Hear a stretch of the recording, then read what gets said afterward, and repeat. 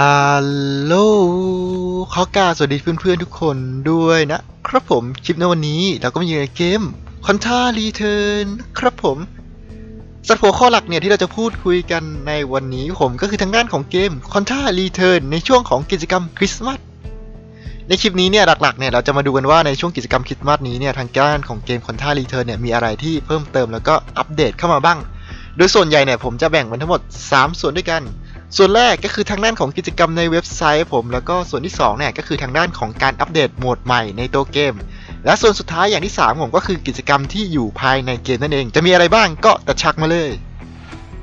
ในส่วนแรกผมทางด้านของกิจกรรมในเว็บไซต์ผมเราสามารถเข้าไปร่วมสนุกได้ในทางด้านของ Facebook แฟนเพจของ c o n t a g a r i n a Return Official ผม โดยส่วนมากเนี่ยกิจกรรมที่ผมรู้สึกว่าค่อนข้างน่าสนใจมากๆ คือ กิจกรรมคริสต์มาส ขออยากได้อะไรผมขอมาทีหน้าจัดให้ผมแน่นอนว่าทางด้านของกิจกรรมนี้เนี่ยให้เราทำการคอมเมนต์ว่าเราอยากจะได้อะไรในเกมคอนท่ารีเทิร์นผมโดย สิ่งที่เขาบอกเอาไว้เนี่ยก็อยู่ที่ประมาณว่ามันจะต้องไม่มากจนเกินไปนั่นเองนะกิจกรรมหนึ่งเนี่ยก็คือทางด้านของแจกปืนส้มอะไรพวกนี้เนี่ยที่ดูน่าสนใจใครที่สนใจเนี่ยก็สามารถเข้าไปเล่นร่วมสนุกกับทางด้านของกิจกรรมกันได้นะอย่างที่2ครับผมกับการอัปเดตโหมดใหม่ในตัวเกม ซึ่งในตอนนี้เนี่ยก็มีการอัปเดตเข้ามาทั้งหมด 2 อย่างด้วยกัน อย่างแรกเลยผมก็ตามในภาพเลยผมก็คือทางด้านของทีมรบ ถ้าเกิดว่าจะพูดเป็นภาษาไทยง่ายๆ ก็กดเข้ามาเลย ในโหมดทีมรบนะครับผมเราจำเป็นจะต้องร่วมมือกับเพื่อนอีก 2 คนเท่ากับว่าเราจำเป็นจะต้องมีทั้งหมด 3 คนต่อการเล่น 1 ทีมแน่นอนว่าใครที่ไม่มีทีมเนี่ยก็สามารถกดเข้ามาที่ทางหน้าล็อบบี้ได้ก็จะมีทางด้านของคนเล่นเนี่ยแล้วก็ดูทางด้านของทีมโดยมีเงื่อนไขว่า การที่เราจะสามารถเล่นในโหมดนี้ได้เนี่ยเราต้องมีเพื่อนอีก 2 คนด้วยนะเพื่อที่เราเนี่ยสามารถทำคะแนนได้ แต่ในกรณีที่เราอยากสร้างทีมผม เราสามารถกดที่ทางด้านของการสร้างทีมรบได้ เราสามารถตั้งชื่อแล้วก็ประกาศร่วมศึกของทีมรบก็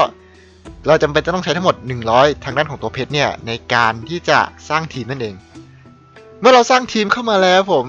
มันจะมีทางด้านของตัว quest เสริมให้เราทำแน่นอนว่าทางด้าน quest พวกนี้เนี่ยเมื่อเราทำไปปุ๊บเนี่ยแล้วเราจบภารกิจได้ เราก็จะได้รับทางด้านของแต้ม แล้วก็ทางด้านของตัวกล่องของขวัญ เพื่อที่จะมาปลดล็อกเป็นของรางวัลในตัวเกมนั่นเอง โดยกล่องพวกนี้เนี่ยก็จะยิ่งได้ระดับดีขึ้น เมื่อเราเนี่ยทำการปลดล็อกภารกิจที่สูงขึ้นเรื่อยๆ ต่อวันนั่นเอง เงื่อนไขก็คือ การที่เราเนี่ยสามารถลงได้เนี่ยเราสามารถที่จะออกใหม่แล้วก็เข้าทีมใหม่ได้เนี่ยสัปดาห์หนึ่งเนี่ยไม่เกิน 5 ครั้งนั่นเอง เพื่อป้องกันการปั๊มแต้มนะสำหรับระบบใหม่อีกระบบหนึ่งของผมจะอยู่ในทางด้านของการเล่นแบบ PVP กดเข้ามาที่ทางด้านของฟันโหมดด้านขวามือ และเลื่อนมาที่ทางด้านขวาผม สำหรับด่านใหม่ที่เพิ่งเปิดเข้ามาผมก็จะเป็นด่านที่จะเปิดทุกๆ วันศุกร์เวลา 6 โมงถึง 4 ทุ่ม แน่นอนว่าการลงอันนี้เนี่ย ถ้ายิ่งลงกับเพื่อนเนี่ย ก็จะยิ่งสนุกนั่นเองนะสำหรับโหมดใหม่อันนี้สำหรับต่อมาผมก็คือทางด้านของกิจกรรมคริสต์มาสในตัวเกม ในตอนนี้เนี่ย ก็จะมีหลักๆทั้งหมด 3 อันด้วยกันนะผมตามภาพเลย อย่างแรกเลยผมก็คือการทำภารกิจลบ เป็นทีมเพื่อปลดล็อกของวันก็จะเป็นทางด้านของตัวเพชรที่เราสามารถลงได้วันละ 1 ครั้งก็คือ 10 เพชรแบบฟรีๆตัว 1 อัน แล้วก็ทางด้านของใบ XP สีฟ้าอีก 5 อัน อีกอันหนึ่งของผมก็คือทางด้านของกิจกรรมโบนัสคริสต์มาสโดยกิจกรรมนี้เนี่ยใครที่ล็อกอินตั้งแต่ช่วงประมาณสักวันที่ 20 เนี่ย เราจะสามารถหมุนทางด้านของตัวกงล้อนำโชคได้ โดยกงล้อนี้ผมเมื่อเราหมุนครบทั้งหมด 5 วันแล้วเนี่ย เราจะได้รับไอเทมของขวัญคริสต์มาสอีฟ ซึ่งของขวัญคริสต์มาสอีฟเนี่ย เมื่อเราเปิดมาเนี่ย ก็จะกลายเป็นทางด้านของตัวชิ้นส่วนสัตว์เลี้ยง Energy UAV 5 ชิ้น แล้วก็ทางด้านของชิ้นส่วนปลุกพลังปืน Spread Gun 5S แล้วก็ทองอีก 1,800 กว่าๆนั่นเองครับ ในส่วนของทางด้าน skin ปืนผมเข้ามาดูสักเล็กน้อยผม ทางด้านของปืน Spread Gun 5S ผมทางด้านของการปลุกพลัง แน่นอนว่าปืนอันนี้เนี่ย ความสามารถที่เราเนี่ยปลุกพลังเพิ่มเติมขึ้นเข้ามาก็คือพลังโจมตีของฮีโร่เนี่ยจะเพิ่มขึ้นอีก 100 หน่วย แน่นอนว่าเขาแจกเนี่ยก็คือแจกฟรีนะ ใครที่ไม่ทำกิจกรรมนี้บอกได้เลยว่ากว่าเราเนี่ยจะปลดล็อกไอตัวสกินนี้ได้อีกทีนึงเนี่ยอาจจะต้องเสียเงินซื้อผม เพราะฉะนั้นเนี่ยถ้าเราสามารถทำกิจกรรมนี้ได้แล้วก็ปลดล็อกปืนนี้ได้ที่เป็นความสามารถของการปลุกพลังได้เนี่ยก็จะช่วยทำให้เราเนี่ยเพิ่มค่าพลังของตัวละครได้สูงขึ้น แล้วก็มีปืนที่เท่ไว้อวดเพื่อนๆตอนลง PVP หรือว่าลงด่านใต้น้ำนั่นเอง ในส่วนของทางสัตว์เลี้ยง Energy UAV ผมสัตว์เลี้ยงตัวนี้เนี่ยมันค่อนข้างที่จะเป็นสัตว์เลี้ยงของทางด้านสายแทงเป็นหลักนะ เพราะเนื่องจากว่าทางด้านของความสามารถที่มีการกางโล่ดูดซับพลังงานความเสียหายได้ รวมถึงมีความสามารถในการลดความเสียหายลงอีก 6%เมื่อทางด้านของสัตว์เลี้ยงตัวนี้เนี่ยควบคู่กับฮีโร่ออกศึกด้วยหลักการการใช้ผมแน่นอนว่าการใช้งานหลักๆ ของทางด้านตัวนี้เนี่ยเราต้องใส่ให้กับตัวตัวละครที่เป็นสายแทง ทำให้เราเนี่ยสามารถแทงได้ไม่ว่าจะเป็นทางด้านของโหมดใต้น้ำหรือว่าการลงในโหมดของ Arena ที่การที่เราเปิดความสามารถในการแทงเนี่ยถ้ากับว่าเราจะโดน damage น้อยลงในการลงในโหมดนี้ กิจกรรมเพิ่มเติมต่อมาผมตั้งแต่วันที่ 21 ถึงวันที่ 25 ก็จะเป็นทางด้านของกิจกรรมแพ็กเกจเติมเงินต่างๆ ผมอย่างเช่น ทางด้านของกิจกรรม เติมเงินเพื่อรับกล่องสุ่มเพชร ถ้าเราเนี่ยสามารถเติมเงินครบ 200 เพชรได้ในช่วงเวลานี้ผมแน่นอนว่าเราจะได้รับทางด้านของตั๋วคูปอง 30 แล้วก็ทางด้านของตัวแพ็คเพชรคริสต์มาสที่จะสุ่มแล้วเนี่ยมีโอกาสได้รับเพชรสูงสุดถึง 688 หน่วยแต่ว่าก็อยู่ที่ดวงของแต่ละคนด้วยผมว่าจะเปิดมาเนี่ยแล้วได้เท่าไหร่ด้วยนะทางด้านอีกส่วนหนึ่งผมก็คือทางด้านของคริสต์มาสลุยโหมดบอสแน่นอนว่าการที่เราเนี่ยลุยโหมดบอสก็จะรับของขวัญเพิ่มเติมอีกเล็กน้อยในการลงในแต่ละวันในช่วงนี้ แล้วก็อย่าลืมผมใครที่กำลังหาตัวละครบิวใหม่ หรือว่ากำลังอยู่ในช่วงที่กำลังเปิดเนี่ยถ้าเกิดว่าตัวได้ตัวละครตัวนี้แล้วเนี่ยก็อย่าลืมที่จะทำกิจกรรมเพิ่มเติมของตัวละครตัวนี้ด้วย เพื่อรับเพชรเพิ่มเติมอีกเล็กน้อย ในส่วนของวันที่ 24 ผมก็คือทางด้านของกิจกรรมในเว็บไซต์ที่ผมพูดไปก่อนหน้านี้เลยผมเพราะฉะนั้นเนี่ยเราจะข้ามเลยนะในส่วนของวันที่ 25 ผมก็จะมีทางด้านของกิจกรรม รับรางวัลเพิ่มขึ้น 2 เท่าที่เป็นโหมด EXP ในการลงแบบรายวัน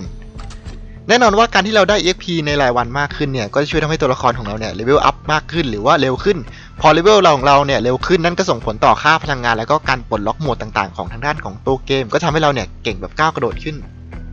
อีกส่วนหนึ่งก็ผมก็คือกิจกรรมเล่น 2 คน แล้วก็กิจกรรมจัดอันดับอันนี้เนี่ยรายละเอียดข้อมูลเนี่ยยังไม่เพิ่มเติมขึ้นขึ้นมานะเพราะว่าวันยังไม่ถึง แต่เกิดว่าให้เดาเนี่ยก็จะมาเหมือนกับทางด้านของกิจกรรมอื่นๆ ก็คือ ถ้าเราเล่นในโหมด 2 คนหรือว่าเราแข่งขันจัดอันดับอะไรพวกนี้เนี่ยเราก็จะรับของรางวัลที่เป็นเพชรหรือว่าของรางวัลอื่นๆ เพิ่มเติมขึ้นเข้ามาคร่าวๆประมาณนี้แล้วกันนะผมสำหรับการอัปเดตกิจกรรมคริสต์มาสในช่วงสุดสัปดาห์นี้ผมก็หวังว่าทุกๆคนเนี่ยจะเล่นเกมคอนท่ารีเทิร์นอย่างสนุกสนานนะผม ถ้าเป็นไปได้เนี่ยสายฟรีทุกคนเนี่ยก็อย่าพยายามพลาดนะผมเพราะว่าของรางวัลเนี่ยค่อนข้างแจกเยอะโดยเฉพาะทางด้านของกิจกรรมในเว็บไซต์ผม ที่มีโอกาสจะได้รับของแร่แล้วก็เท่ๆกันฟรีโดยเฉพาะทางด้านของกิจกรรม ขอพรกับทางด้านของตัวทีน่านั่นเองครับผม ที่เราเนี่ยอาจจะขอพรให้ได้ปืนส้มสัก1นถึงสกระบอกก็น่าจะช่วยทำให้เพื่อนๆเนี่ย